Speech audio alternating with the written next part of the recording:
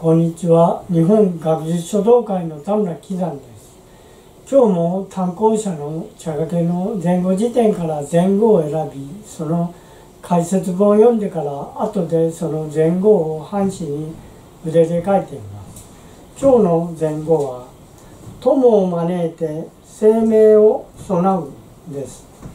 友人を招いて爽やかな茶を振る舞うという意味です。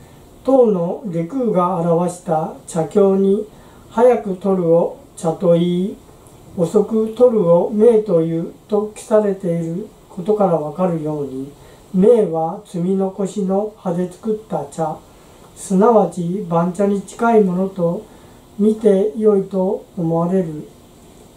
が緑明かっこ美しい緑色の茶という表現は多くの天石の中でしばしば用いられている。テーマから友を招いて生命を備うを書いています。